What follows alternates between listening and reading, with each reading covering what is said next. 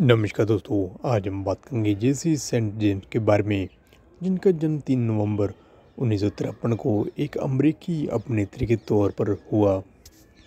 उन्होंने 1975 में अपने ब्लू हिट जैसी की छोटी सी भूमिका के साथ कट्टर फ़िल्मों में अपने करियर की शुरुआत की। उन्होंने कई वर्षों तक रुक रुक कर अभिनय किया, फिर उन्नीस सौ उनासी में अपने पूर्णकालिक रूप से काम करना शुरू किया। उनकी पिछली फ़िल्मों में कई सारे फायर और इजी इंस्टा टेलर थे, जो कि सेंट जेम्स के साथ उनके अधिकांश कल्पनाओं में उम्र में बड़े थे और उन्होंने अपने अधिकांश उल्लेखनीय भूमिकाओं और गृहणियों या स्कूली शिक्षकों जैसे किरदार निभाए। उन्होंने कई सारे स्वर्ण युग के हिस्सा माना जाता है। उन्होंने उन्नीस सौ चौरासी में सेवानिवृत्त हुई थी।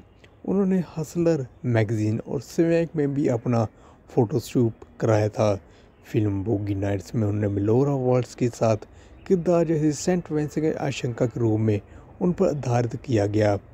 उन्होंने avian hall of the fame में शामिल किया गया और उन्नीस अठानवे में उन्होंने पहले अपनी फ़िल्म को हॉल ऑफ़ द फेम में रिलीज़ किया गया।